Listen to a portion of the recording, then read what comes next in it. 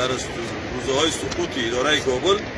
پاکستانی آمدن و این پیلارای خود 400 متر پیش آوردن یو طالب قماندان ومنله چې واخان کې تاسیسات د جمهوریت د سقوط پر مهال جوړ شوي وو بلخوا طالبانو سیمې ته ځواکونه لیږلي جزئیات هم دلته وګورئ او چینل سبسکرایب کړئ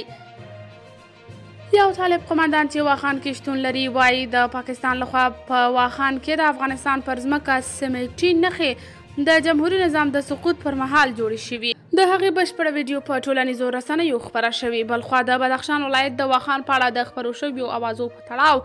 د ملي دفاع وزارت اعلامیه د ځینو رسنیو او ټولنیزو شبکو د کارونکو له ادعا وروسته چې ګواکې پاکستاني پوځیان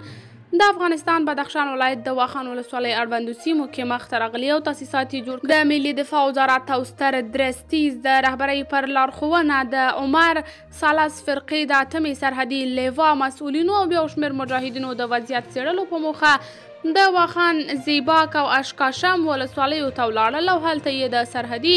سیمو او میشتو مجاهدینو سره لیدنه وکړه د دغه سفر په لړ کې د عمر سالس فرقې او اتمې سرحدي لیوا مسؤلینو د واخان ولسوالۍ د برغیل کرخې څخه چې د افغانستان او پاکستان ترمنځ ګډه پوله ده لیدنه وکړه او په دغه سیمو کې د میشتو سرحدي ځواکونو نه یې د امنیت ټینګښت او د هیواد د ځمکنۍ بشپړتیا ساتلو او ډاډ حاصلولو په خاطر قدردانه او مننه وکړه همداراز یو شمیر تاسیسات چې جوړ شوي وو ونړول شول